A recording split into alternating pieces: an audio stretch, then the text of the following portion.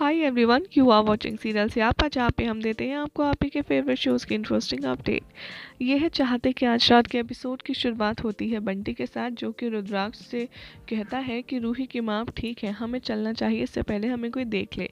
तभी वो दोनों देखते हैं कि मुखिया के गुंडे ऑलरेडी आ गए हैं और उनको वहाँ से भागने के लिए मजबूर होना पड़ता है। युवराज या मुखिया से कहेगा कि आप वेटिंग रूम में चलिए, रुद्राक्ष यहाँ नहीं है तो।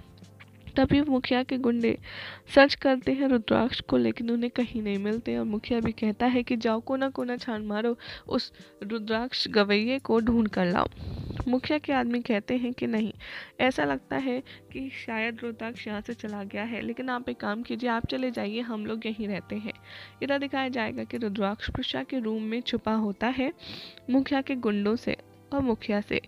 तभी प्रशा वॉशरूम के बाहर आती है और रुद्राक्ष जल्दबाजी में प्रशा के बेड के नीचे घुस जाता है।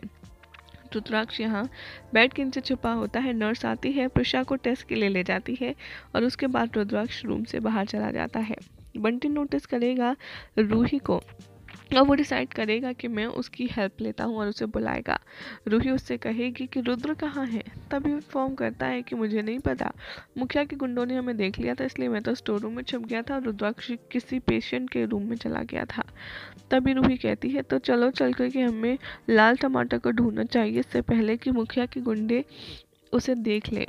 मुखिया के आदमी यहाँ पर मुखिया से कहेंगे कि, सर, हमने सब जगह चेक कर लिया है, रुद्राक्ष यहाँ नहीं है। मुखिया युवराज से पूछता है कि, क्या तुम हमारे साथ कोई खेल तो नहीं खेल रहे हो?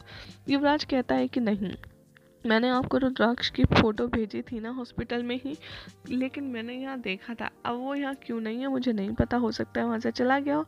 इधर दिखाया जाएगा कि रूही रुद्राक्ष को ढूंढ लेती है। मुखिया के आदमी उन दोनों को एक साथ देख लेते हैं और उन्हें पकड़ने के लिए उनके पीछे भागते हैं। रुद्राक्ष यहाँ पर बाय करेगा, रूही को और कहेगा, चलो स्माइल करो, और उसे हक करता है। और बहुत ही खूबसूरत सा टाइटल सॉन्ग आपको बैकग्राउंड में नज़र आएगा। बंटी और रुद्राक्ष विंडो की मदद से हॉस्पिटल से बाहर भाग जाते हैं। यहाँ डॉक्टर पिशा से कहेंगे कि आपको थोड़ा दिन हॉस्पिटल में रहना होगा एटलीस्ट आज की रात तो आपको ऑब्जर्वेशन के लिए रहना होगा और तभी आप यहाँ से जा पाएँगे। प्रिशा बहुत ज़्यादा अपसेट होती है लोहरी और रूही को लेकर के। युवराज कहता है डोंट वरी प्रिशा, मैं रूही का ख्याल रखूँगा। प्रिशा कहती है, कोई ज़रूरत नहीं है, मुझे तुम्हारी मदद की। मीना कहती है, कोई बात नहीं प्रिशा, मैं हूँ ना, मैं रूही का ख्याल रखूँगी। युवराज हॉस्पिटल छोड़कर चला जाता है और सोचता है कि प्रिशा ने सब कुछ कर दिया।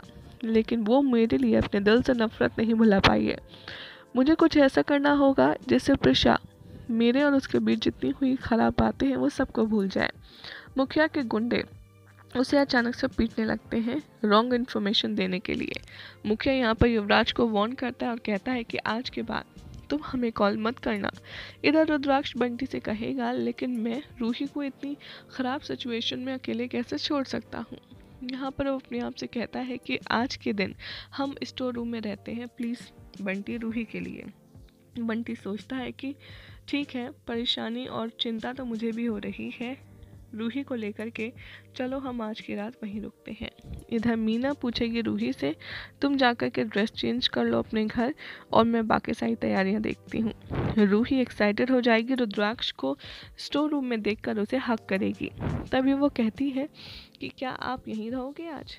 यहाँ पर रुद्राक्ष उसे बताएगा कि हाँ आज की रात मैं तुम्हारे साथ रहूँगा यहीं पर। तभी मीना उससे कहती है कि, चलो आओ मैं तुम्हें लेने आ रही हूँ वापस। हम फ़ंक्शन में चलते हैं। साची कहती है कि मैं रूही के साथ आ जाऊँगी, आप जाओ। इधर बंटी होटल के लिए चला जाएगा और रह जाएँगे रूही, रुद्राक्ष और सांची। इधर दिखाया जाएगा थोड़े टाइम के बाद। सांची खाना लाएगी, लेकिन रूही खाना खाने से मना कर देगी और कहेगी कि मुझे मम्मा की याद आ रही है। रुद्राक्ष कहेगा, मेरे पेट में बहुत ज़्यादा दर्द हो रहा है, लेकिन मैं खा नहीं सकता रूही के बिना। तभी रूही कहती है, मुझे पता है, आप सब ड्रामा कर रहे हो, आप बहुत बुरे एक्टर हो। और रुद्राक्ष यहाँ पर कहता है कि अच्छा मैं तो बहुत अच्छा एक्टर हूँ।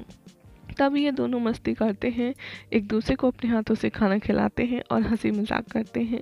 यही हो जाएगा आज रात के एपिसोड का जिसके बाद कल क्या होगा आपको बताएँगे नेक्स्ट रिपोर्ट में।